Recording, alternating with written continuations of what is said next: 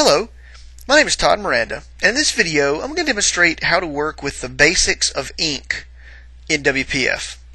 So let's begin by creating a new project. We'll create a Windows application project, and we'll name that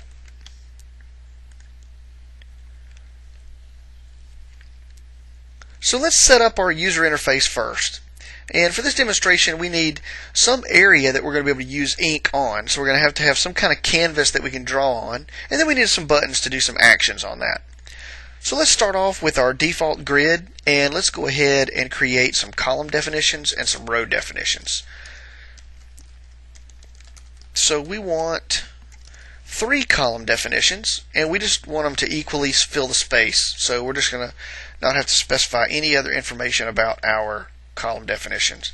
And our row definitions are similar, except we want the height of the main row definition to pretty much fill the remaining space that this row definition is not filling. And this guy down here will be 50 pixels. Okay. So that gives us our columns and our rows. So the first control that we need to add to our WPF application is our ink canvas. And this is a control that's provided in WPF to handle ink input. And this is a really easy control to use. So let's give it a name and we'll call it ink draw. And then we'll specify that we want a height of auto. We want uh, vertical alignment to be stretch. We want width to be auto and we want the horizontal alignment to be stretch. And then we want to specify that this guy lives in grid dot column span 3 and the first row which is 0 since grid since columns and rows are 0 based in the grid. Okay, great. There's our ink canvas. Now let's add a couple of buttons to do some actions on our ink canvas. So the first button will have some content that says new. We'll specify a horizontal alignment of center, a vertical alignment of center, just to center it in that space. We're going to say that it is in grid 1, again, zero based, and it is in column 0. So our first column. And I'll tell you what, let's go ahead and let's go ahead and add our click event handler. We know we're going to need one, so we'll just go ahead and, and add it. New click. And we'll copy this button and we'll just paste it a couple more times. And we're going to create a save button and a load button. And we know that this is going to be in column 1 and column 2 respectively. And our click events will have some different names. Great. So for the most part, that's our UI. We've got a ink canvas to be able to do some ink stuff with. We've got a couple of buttons to act upon that ink canvas. So now let's go to our code behind and make sure that we implement these click event handlers so that we don't get any errors when we try to build. So we'll do void new underscore click and it will take an object sender and a routed event args e.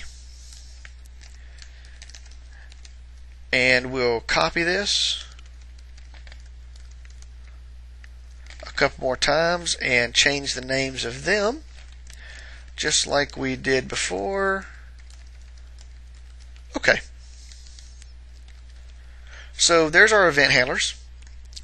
Well, to start off with, really all we want to be able to do is clear the ink path. You know, when you're when you got an etch a sketch and you're working on your etch a sketch, when you want to erase it, you turn it upside down and shake it. Well, it's a little bit easier to do with ink canvas. All we have to do is specify the ink canvas dot strokes, which is the collection of strokes that are on that ink canvas, and we call their clear method. All right, let's stop here. Let's build. And we don't have any errors. And let's run this and let's see what we've got so far.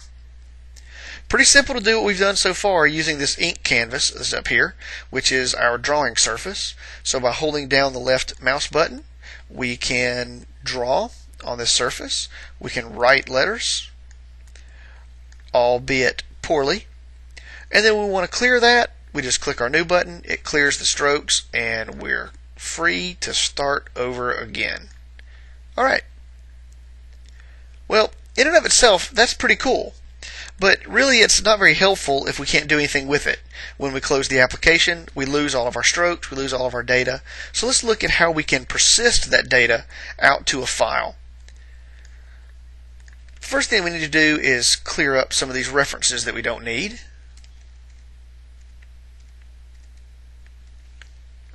And add one more. So now that we've got our IO reference added, let's start with our save. We need to create a file stream and we're going to call this output file and we'll just do new file stream. We'll specify a path. We're just going to use relative path. So directly in the application root, we'll create something called ink strokes.ink and we'll specify that it's file mode create. Alright, so there's our file stream. Now, the stroke collection of an ink canvas makes this really, really easy to save those strokes out to a file. As long as we have a, a stream, in this case we're going to use our file stream, we can output the strokes to that stream. Pretty easy to do. We specify ink draw dot strokes dot save. And then we just simply pass it our file stream and then for good measure we'll close this after we're done. So that's how we save our strokes out to a file. Couldn't get a whole lot simpler than that. Three lines of code. Let's look at how we load our strokes from the file. Again, fairly simple to do this. So we'll create a file stream, input file, and we'll say equals new file stream. We're going to specify our same file that we had up above. Now to be really correct, this should really probably be stored in some kind of a variable that you could reference. That way you could change it in one place and it would affect everything else. But for this demo, we're going to kind of cheat a little bit. And we're going to specify a file mode of open on that file stream. We're going to specify our canvas, strokes, equals new, stroke collection, and we're going to pass to the to the default constructor of the stroke collection our input file. How about that? So we just simply pass in our file stream. And then for good measure, input file close. And that is pretty much it. So let's build, make sure we don't have any errors. No errors. And let's run this. Okay, so let's create some beautiful drawings up here in our canvas. And we can clear that obviously and we'll work on our beautiful drawing again. And this time we're going to click save. It saved the stroke collection out to a file so we've got a file now out in our root of our application.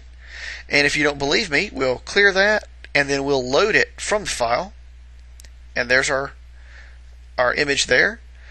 And if you really don't believe me we'll start our application again and we'll come in and load that file. And there's our drawing now we can add to it and save again and load it.